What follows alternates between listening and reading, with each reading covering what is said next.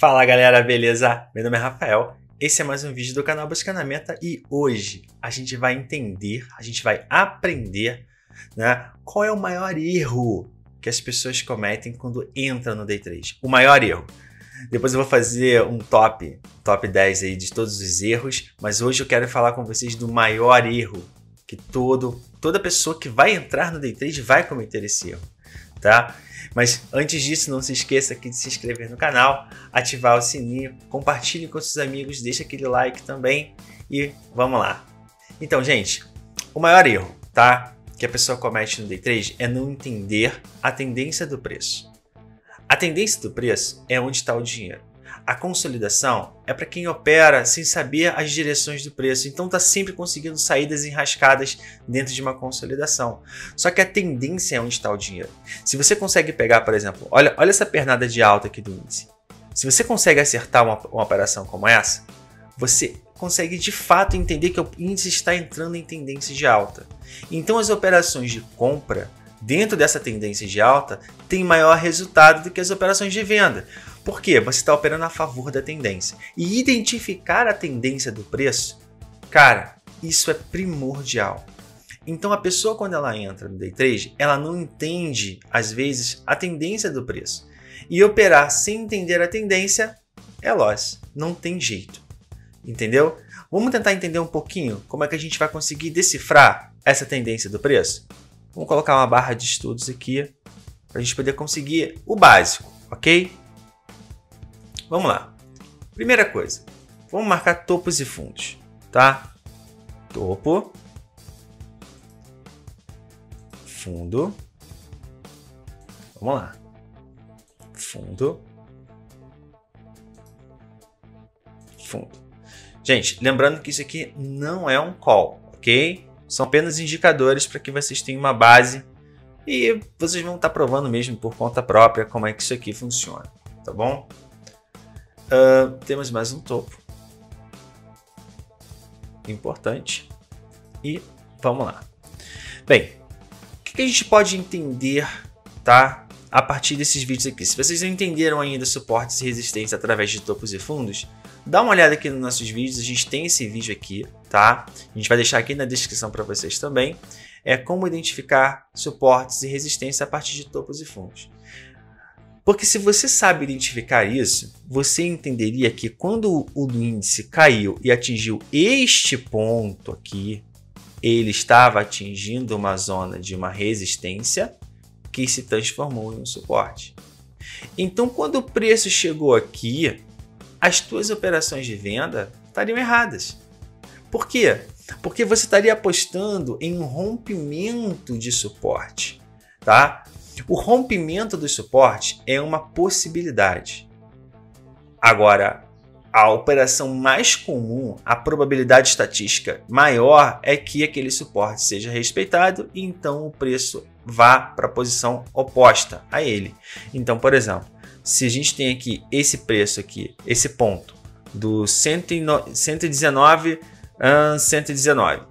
Se este ponto, né, acabou sendo redondinho, né, 119, 119 se esse ponto aqui trabalhou como resistência, aqui o índice poderia ter feito o quê? Pullback em cima do ponto para procurar novo alvo de alta. Quando ele chegou aqui nesse ponto, operações de venda estariam totalmente erradas. A operação aqui era compra. E lá foi 2.400 pontos para cima. Então, se você consegue entender a tendência do preço os pontos chaves do preço através do gráfico diário, que é o gráfico primordial para que você opere, para que de fato você consiga compreender o preço. Isso aqui não passa batido para você. Você de fato vai conseguir entender o que fazer nesses pontos. E isso para gente é o ponto mais importante. Isso para gente é de fato o que vai trazer a diferença nos nossos resultados, tá bom? Então aqui ó, o preço veio, fez uma escalada, deu uma queda, depois subiu de novo. Quando ele subiu, ele atingiu um topo duplo. Se você está comprando no topo, cara, você está operando um rompimento. Como é que se opera um rompimento? A gente já ensinou isso aqui no canal, a partir de topos e fundos. Você espera o pullback. Espera o pullback. É muito mais fácil você esperar o pullback com um pouco mais de tranquilidade do que você tentar fazer as operações em cima do rompimento já vendendo o topo. A probabilidade estatística de você errar é muito grande. Entendeu? Então, vende, é, comprar topo, vender fundo, espera o pullback. Se não tiver um pullback, não faz a operação, porque a probabilidade estatística de você tomar um loss federal é enorme. Enorme. Topos e fundos é o básico do básico do básico. Por isso que foi um dos primeiros vídeos que eu gravei aqui. Então, se você ainda tem qualquer tipo de dúvida sobre como isso funciona, dá uma olhada aqui nos nossos vídeos. O, o canal está muito educativo, né? A gente está indo sempre para uma parte 100% educativa. Então, se você quer operar day trade, primeira coisa que você tem que entender é a tendência do preço e se colocar a favor dessa tendência, ok? Outra coisa, você quer operar índice, você tem que entender que o índice, o comportamento dele está diretamente ligado à alta do petróleo e à alta do minério, ou à baixa do petróleo e à baixa do minério. Porque se Petro e Vale puxarem a queda, vai embora. Então tenta sempre entender isso. Tá? O comportamento do minério e o comportamento do petróleo fazem uma diferença gigantesca no nosso índice. Se vocês tiverem uma queda de, de Vale e Petro e a queda for muito forte, pode ter certeza do que eu estou te falando. O índice vai cair também. Tá bom? Então, vamos conseguir entender isso aqui na prática? Vamos ver como é que eu opero isso aqui na prática? Olha só. Então, estamos aqui no dia 14 de 4 de 2022, né? Não sei quando você vai estar vendo esse vídeo, né? Se você vai estar vendo esse vídeo hoje ou se você vai estar vendo esse vídeo daqui a um ano. Mas vamos lá. Dia 14 do 4. São 14 dias operando. Eu fiz 10.971 reais. Foram 25 operações sem nenhuma perda. Cara, não é mágica. É só aprender a esperar os pontos estratégicos. Olha como é que se constrói uma meta. Tá aqui no dia primeiro. Vamos para o dia primeiro. No dia primeiro eu fiz 344 reais, tá? Essa operação perdedora era uma operação em opção né? Que depois acabou virando uma operação vencedora, tá bom? Então foi uma operação de swing trade. Vamos lá. Vamos para o dia 4, foi o dia que eu zerei essa operação. No dia 4, olha lá, quando eu zerei a operação no game, deu 115 reais. 115 reais, bem básico, né? No dia 5, No dia 5, vamos lá, dois mil reais de lucro. Bom gain, né? Um gain excelente. Três operações no dia. Observem sempre o número de operações que eu faço. Tá? Vamos lá. No dia 6, foram cinco operações, 765 reais. Vamos entender agora no dia 7. Dia 7. Aqui Carioca puxo S. R$ 2.931. Ok? Excelente operação. Três operações também durante o dia. Dia 8, sexta-feira. Sexta-feira, nenhuma operação. Eu não operei na sexta-feira no dia 8. Já estava com a meta batida. Falei, ah, vou ficar sem operar na sexta. Vou descansar minha cabeça. Vamos para o dia 11. R$ 1.379, três operações também. Gente, sem alavancagem, tá? Operações muito tranquilas, sem alavancagem. Vamos lá. No dia 12, quatro operações, 1.191 reais. Podem ver que a operação, a minha maior operação vencedora, né, ela deu mil reais. E o meu resultado total foi de 1.191, mas teve quatro operações. Por que, que isso aqui também acontece? vocês podem ver o seguinte: quando eu bato a minha meta do dia, né, quando atinjo uma meta gain, eu desço a minha mão, não faço mais operações pesadas, não coloco isso aqui em risco. Né? Eu vou depois estar ensinando para vocês como preservar a meta de vocês. Tá? Então eu começo a operar com uma mão leve, só para engordar o porquinho. Então, ó, no dia 13. Dia 13, no caso ontem, né? R$ 2.188. Olha lá, mesma coisa. Ó, minha, minha maior operação vencedora foi 2.000, só que eu fechei com é, 2.188. E as outras duas operações, mãozinha muito leve. E hoje, nem preciso colocar aqui, né? Só colocar aqui hoje. E hoje, nenhuma operação. Quinta-feira, né? Pré-feriadão de Páscoa, não tem por que operar hoje. Né? O mercado hoje estava muito travado, muito parado, não quis operar. Então, o maior erro de vocês, às vezes quando vocês estão começando trade, é, primeiro, não entender quais são os pontos do diário. Tá? Quando não entender quais são a, qual é a tendência do preço, qual é a tendência do diário. Porque se você entende essa tendência, você vai saber que tem operações que não são operações muito boas para você poder entrar com uma mão né, normal. Então, por exemplo, você opera aí com a média de 5 contratos no, no, índice. Se você está entrando numa operação que não é muito boa, a, a tua mão não pode ser de 5 contratos. Não pode, não pode. Eu falo isso sempre para os meus alunos, cara. Não tem como você fazer isso, porque a probabilidade estatística de você perder dinheiro é muito grande. Então, reduz a tua mão. Você quer entrar nessa operação, mas ela não é a melhor operação do dia? Cara, vai com um contratinho, vai com dois contratinhos, vai só tentando engordar o porquinho, porque mesmo se você tomar um loss, ele não vai ser um loss grande entendeu? Ele não vai ser um loss que vai te tirar do dia.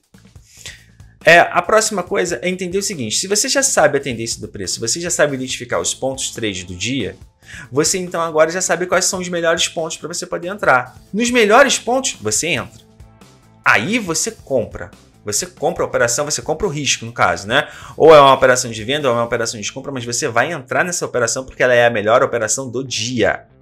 E isso faz toda a diferença. Então, por exemplo, teve dias aqui que eu bati dois mil reais de lucro. Teve dias, como vocês viram, foram 150 reais de lucro. Porque naquele dia as operações não estavam muito legais. Então não tinha por que eu operar a, com a minha mão normal. Então fiz uma operaçãozinha, não gostei muito do dia, não tá legal, não tá dentro do meu setup. Então eu não opero. Agora, naquele dia apareceu a minha entrada dentro do setup que eu utilizo, aí eu tenho que entrar aí não tem jeito. Porque se eu não, se eu não entrar, não tem porquê eu ficar perdendo meu tempo aqui no índice ou no dólar. Não tem porquê. Entendeu? Então isso tem que ficar claro. As operações elas têm que ser proporcionais à sua entrada e dentro dos seus pontos estratégicos. Não opere em qualquer tipo de ponto com qualquer tipo de mão, sem entender a tendência do diário. Esse é o maior erro que todo mundo comete no começo. Se você está querendo fazer operações para poder pegar 100 pontos, 100 pontos no índice, cara, quanto está teu stop? 30 pontos? A probabilidade de ficar tomando violina é muito grande. Eu, por exemplo, não faço operações para ganhar 100 pontos. As minhas operações são sempre com um spread maior de 300 pontos. Então eu estou visualizando 300 pontos ou mais na minha operação. Isso para mim que traz a diferença. Entendeu? Porque eu tenho segurança na minha operação. Eu sei que aquele ponto é um ponto bom. E isso traz o resultado que vocês viram aqui. R$ 10.900 e a gente só está na metade do mês. Então agora eu já bati a minha meta do mês. Já estou tranquilo. As minhas operações estão tranquilas e meu lucro está no bolso. O que, que eu vou fazer? Eu vou sentar na minha cadeira, eu vou esperar o gráfico me apresentar uma operação segura. Quando ele me apresentar uma operação que eu quero fazer, aí eu entro. Entendeu? Isso é o ponto-chave. Isso é a diferença que vai fazer você ganhar dinheiro. Então, se você quer entender como ganhar dinheiro no day trade e não quer cometer esses erros, você tem que aprender a tendência do diário. Como você aprende isso? Com análise gráfica. E é isso que a gente faz. Se você quer entender análise gráfica, cara, pô, chama a gente no privado, a gente vai estar tá te ajudando.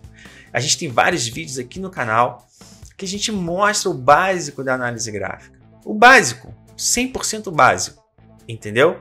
como traçar um canal de alta, é, como operar topos e fundos. É, a gente está ensinando várias estratégias que a gente utiliza, que são estratégias básicas.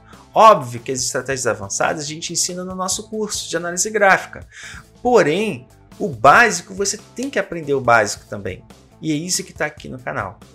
Então, se você quer aprender de verdade, como isso aqui funciona, como você pode trazer o lucro do mercado, deixe de seguir a gente.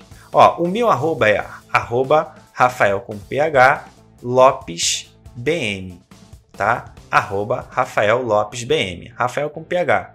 E o nosso arroba do nosso canal é o arroba buscando a meta oficial.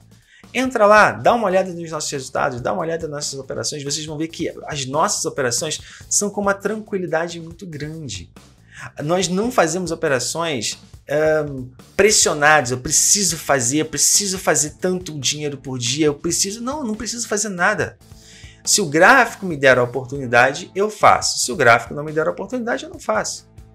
Entendeu? Então, não caiam nesse erro, esse erro tão pesado, né, que a gente fala, que é tentar operar sem entender a tendência do diário tentar operar sem entender o que, que você tem que fazer em cima de cada ponto.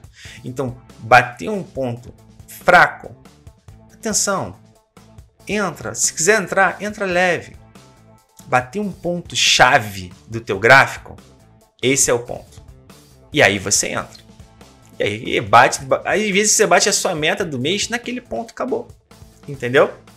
E é isso que a gente está querendo mostrar para você, tá? Se você gostou desse vídeo, compartilha com seus amigos, deixa aquele like, se inscreve aqui no canal, porque, cara, faz muita diferença. Eu queria muito ter aprendido isso no começo. Ninguém me ensinou isso no começo e eu perdi muito dinheiro por causa disso. E eu não quero que você perca também, tá bom?